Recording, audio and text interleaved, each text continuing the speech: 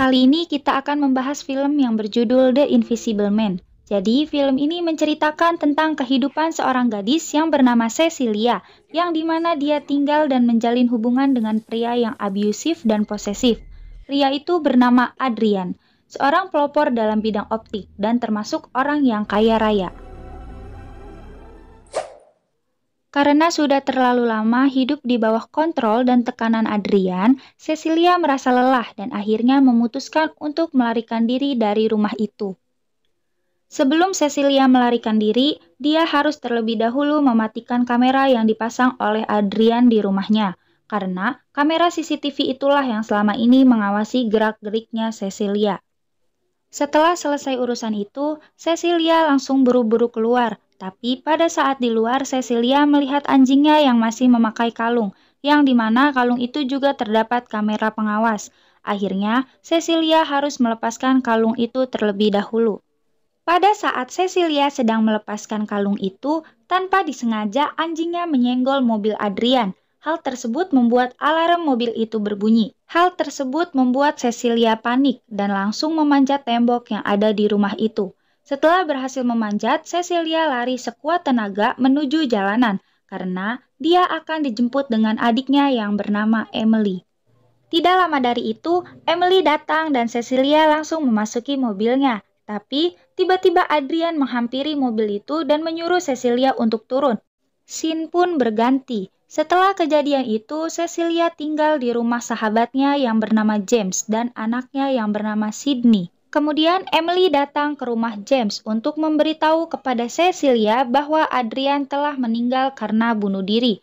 Tapi barulah Cecilia berani menceritakan semua hal yang terjadi pada dirinya selama ini. Pada suatu ketika, Cecilia memberanikan diri untuk keluar mengambil surat di kotak surat depan rumahnya. Ternyata salah satunya ada surat untuk Cecilia, yang ternyata surat itu dari Tom, adiknya Adrian. Tapi setelah pertemuan itu, keanehan-keanehan pun mulai dialami oleh Cecilia. Diawali pada saat pagi hari ketika Cecilia sedang membuat sarapan dan James meminta tolong kepada Cecilia agar membangunkan Sydney. Tiba-tiba pisau yang diletakkan Cecilia di meja jatuh dan api kompor yang menjadi lebih besar. Tidak berhenti sampai di situ. Pada malam harinya, Cecilia merasa diawasi oleh seseorang yang tak kasat mata. Pada saat Cecilia sedang tidur, tiba-tiba selimutnya ditarik. Ketika Cecilia mencoba untuk mengambil spray dan selimut yang sebelumnya jatuh, tiba-tiba spraynya berbentuk seperti telapak kaki. Melihat hal itu, Cecilia teriak dan kemudian James datang. Keesokan harinya, pada saat Cecilia sedang melakukan wawancara kerja dan dia diminta untuk menunjukkan hasil karya arsitekturnya, tapi hasil karya yang dibawanya hilang begitu saja. Setelah melakukan wawancara kerja, Cecilia merasa pusing sampai akhirnya pingsan dan dibawa ke rumah sakit. Setelah dari rumah sakit, Cecilia membersihkan dirinya pada saat Cecilia sedang membersihkan dirinya, dia mendapatkan telepon dari rumah sakit yang kemudian menjelaskan tentang apa yang terjadi pada Cecilia. Namun, tidak disangka teror itu datang lagi, di mana obat yang pada waktu itu jatuh dan diambil oleh Adrian tiba-tiba ada di dalam toilet. Setelah kejadian itu, Cecilia langsung mendatangi Tom untuk menyuruh Adrian agar berhenti melakukan ini semua. Setelah selesai menemui Tom, kemudian Cecilia menemui Emily untuk bercerita. Namun, hal yang tadi sangka pun terjadi. Ternyata ada yang mengirimkan email kepada Emily menggunakan emailnya Cecilia, yang di mana isinya membuat Emily marah dan akhirnya mereka pun berdebat. The email, the email you sent me this morning. What email? That's how you feel about me. Don't ask me to bail you out of your... Setelah perdebatan itu, Cecilia memutuskan untuk kembali ke rumah dengan perasaan sedih. Dan akhirnya Cecilia pun menangis. Sydney yang melihat hal itu langsung menghibur Cecilia dengan mengajaknya makan kue. I think we get kicked out out and have a little girls night, eat some cake. Tiba-tiba makhluk tak kasat mata itu menampar Sydney. Karena Sydney mengira itu perbuatan Cecilia, maka dia langsung berteriak memanggil ayahnya. Akibat kejadian itu, James marah dan akhirnya pergi bersama Sydney meninggalkan Cecilia sendirian di rumah.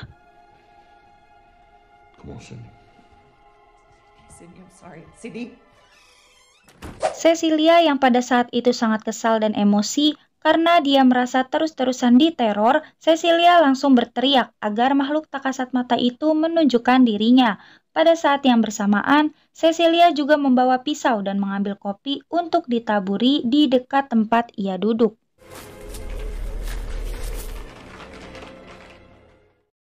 Karena Cecilia yakin itu semua perbuatannya Adrian, dia mencoba untuk menghubungi Adrian, dan tanpa disangka-sangka, deringan handphonenya Adrian terdengar tidak jauh dari tempat keberadaan Cecilia pada saat itu.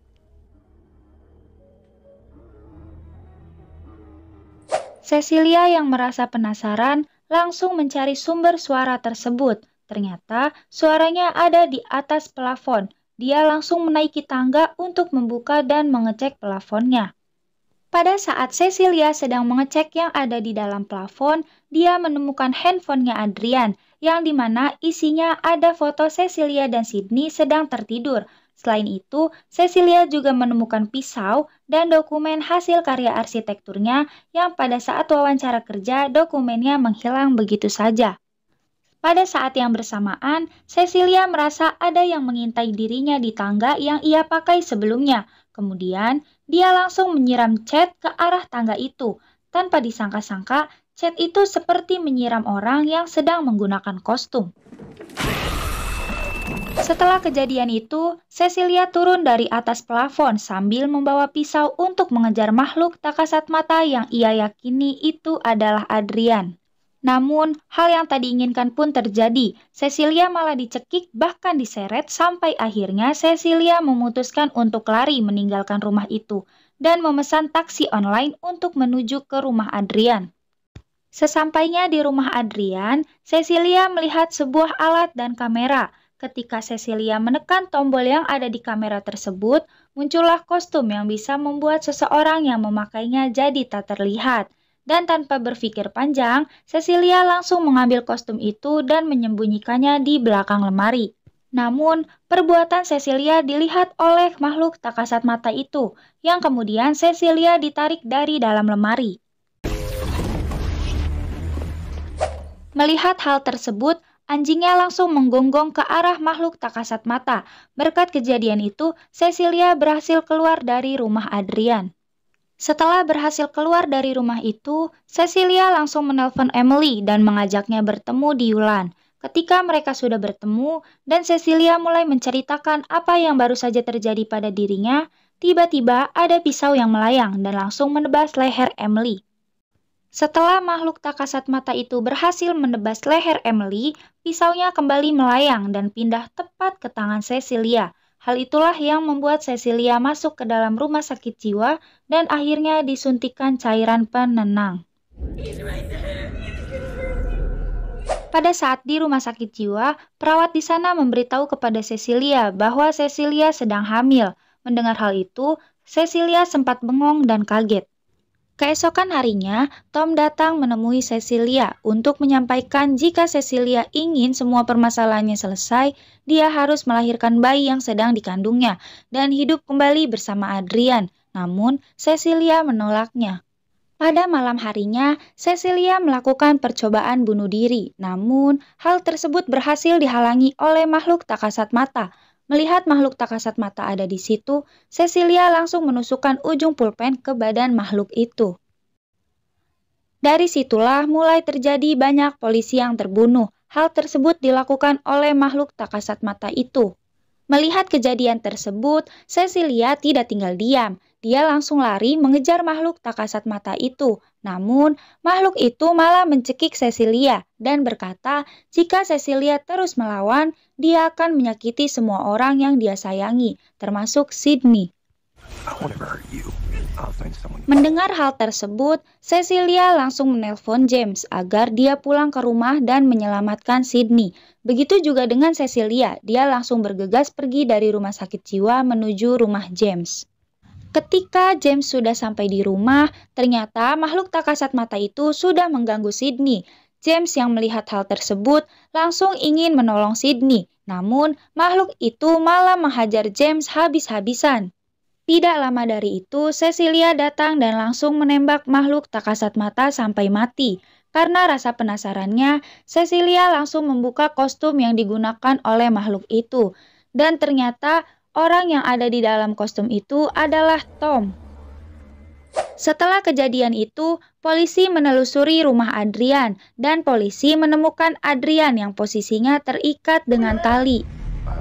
Mendengar hal itu, Cecilia tidak percaya. Dia yakin ini semua permainan yang sudah direncanakan oleh Adrian.